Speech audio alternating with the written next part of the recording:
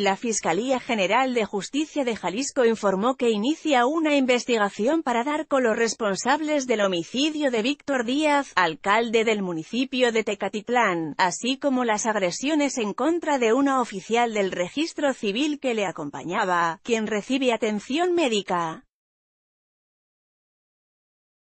De acuerdo con el diario Reforma, Díaz murió acribillado la tarde del lunes.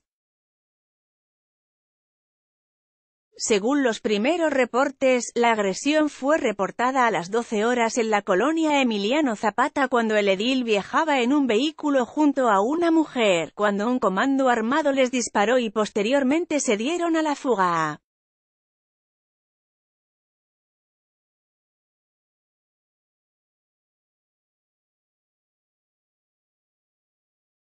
pit.twitter.com barra 8v, Fiscalía de Jalisco, arroba Fiscalía Jal, 2 de julio de 2018 La funcionaria resultó gravemente herida y fue trasladada a un hospital en Ciudad Guzmán.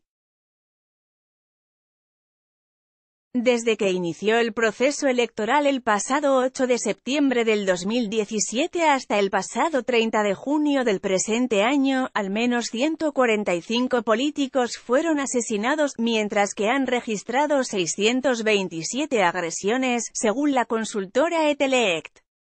Podría interesarte, FEPADE reporta más de mil denuncias y 17 detenidos por delitos electorales. Matan a militante del PT en Michoacán, suman 145 políticos asesinados en México. Entérate de la información más relevante de las Elecciones 2018 en Cultura Colectiva News Gustavo Pineda periodista muy guerrerense, Michoacán me adoptó en el 2008, pasé por las llamas del Estado de México y llegué al paraíso de la CDMX.